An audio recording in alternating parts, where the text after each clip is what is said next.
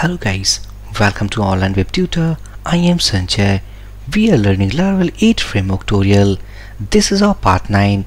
Inside this video session guys, we are going to continue all about our blade template what we had discussed also in the last video.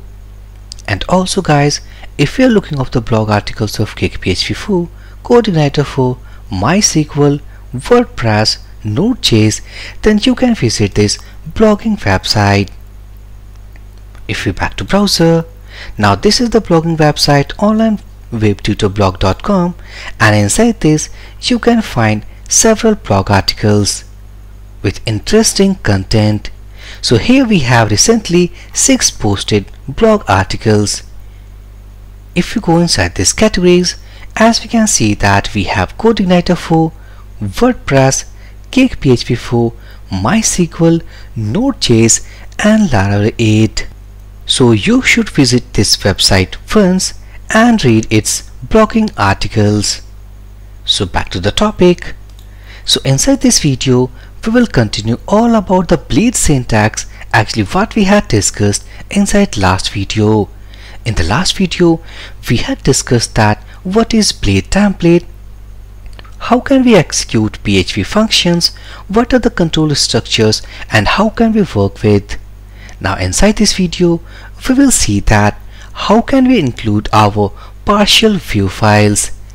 If I back to editor, let's say that we have some view files inside any specific subdirectory.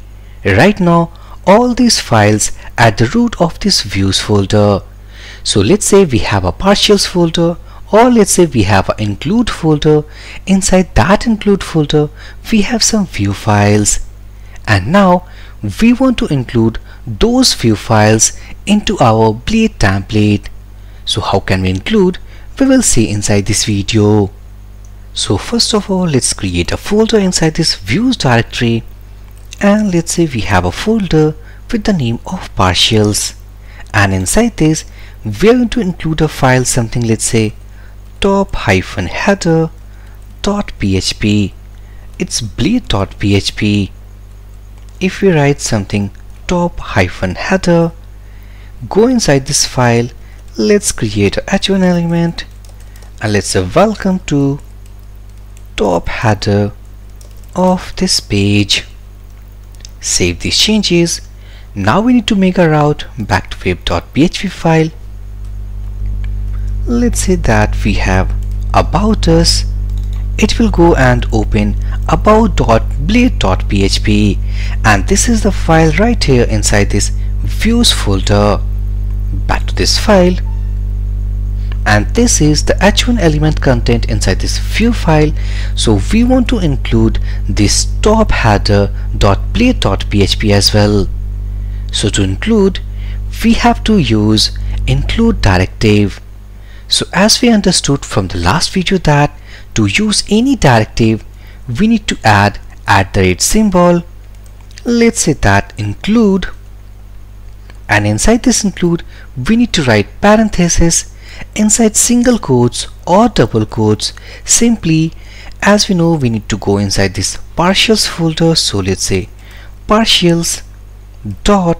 It means we are going inside this folder Next we need to include this file so top underscore header.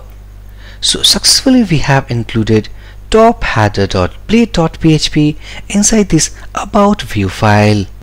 Save all these changes, back to browser and if I type our route something about hyphen s now as you can see that we have successfully added our top header view file inside this about us view file. So this is the first point actually we have covered inside this video. In the next, let's say that we need to go inside this web.php. Again, let's say we have another file inside this partials folder and let's say that about hyphen s dot blade dot php it means that we have another or let's say instead of partials if we rename this folder something let's say admin. Now inside this views folder we have an admin folder. If suppose we are making a big project like the that project have a admin panel as well as a front-end panel so we will make separate folders inside this views directory to contain their respective views files. So inside this admin folder, let's say that we have admin view files. So in the same way, we have a front-end folder which contains front-end view files. So here question is that how can we include the view file here as we can see that we directly included a view file at the root of this but this time we are going to include a view file from this admin directive. So what we had done inside this file inside this about.blade.php we have used to redirect inside any of the specific folder. So in the same way we can do anywhere inside this Laravel application. So if we want to read the view file from this admin folder simply we need to go admin dot it means we are going inside this folder and we need to include a file something called about underscore us. Back to this file. Let's say that h1 welcome to admin about us page. Now if we save this file go here reload this page and as we can see that successfully we have redirected our admin layout or the page what we have created inside this admin folder. So in Laravel about the blade syntax we have several directives. So in later on inside this course actually we will learn also about form and CSRF token value. So in that video actually we will explore the very basic concept and how can we use the CSRF token. But for now we need to understand one thing that is to use or to add a CSRF token inside a form in Laravel we need to use CSRF directive. So to use CSRF directive as we know that to use any directive we need to write at the rate symbol and simply type CSRF. Now if we save go here reload this page and if we press ctrl U as we can see that inside the source code we have a CSRF token value. What is the use of CSRF token value? Why we need to add inside any of the form and what is the importance of that? We will cover about each things in CSRF when we will learn about the form concept. Right now actually we had understood about that we have a CSRF directive which is used to generate CSRF token. So in the same way, we have a JSON directive. Back to web.php file, let's say that we are going to pass some value inside this. Simply let's say names.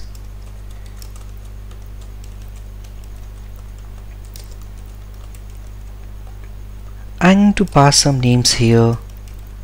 So these are the names actually we have passed and we can successfully retrieve inside this view file back here. And if we want to print these values how can we print? Simply we need to use our blade syntax and inside this we can use PHP functions. So let's say that we are going to use print r function to print all the values what we are passing inside this view file. So let's say here print r it's a PHP function and inside this we are going to use this names key because this is going to contain the array of values. And I think that we have a mistake here because we actually didn't use a array symbol. So here it's an array which contains the employee names. So back to the view file. And let's say that here simply I'm writing the name print r save these changes go and reload this page. And as we can see that we are getting all the values. Also if we want to make use of here about the for each loop so let's say for each here we have let's names. As name we need to enter directive so int for each and here if we type inside this h4 element let's say that here we have the name value so if we save these changes go and reload this page and as we can see that we are getting all the employee names into h4 tag. So this is all about to use an array variable and to print array values inside by using for each directive. So what is the point of concern? Actually we want to use json encode function. Inside php I think that you have used JSON encode function. So let's say that if we want to use JSON encode function, it is something JSON encode and inside this we need to pass an array. So simply if we back here but inside Laravel Blade syntax to use JSON directive actually JSON encode function we have a JSON directive and as we know that to use JSON or to use any directive we have at the rate symbol. And this is how we can actually use inside Laravel back to editor. Get rid of all these things. Let's say that simply what I will do I will write a script tag.